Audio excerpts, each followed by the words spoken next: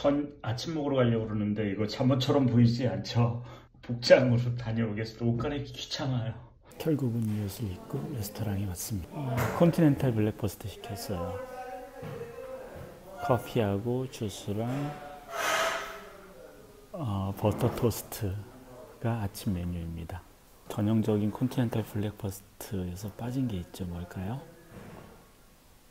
네, 계란 요리하고 베이컨이나 소세지 네, 채식을 하는 나라다 보니까 이게 북쪽 인도 북쪽은 음, 계란 요리도 사실은 좀 찾기 힘들어요.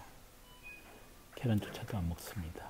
네, 조촐한 아침입니다. 우유 한 잔, 커피 한 잔, 버터 토스트 이게 전부입니다.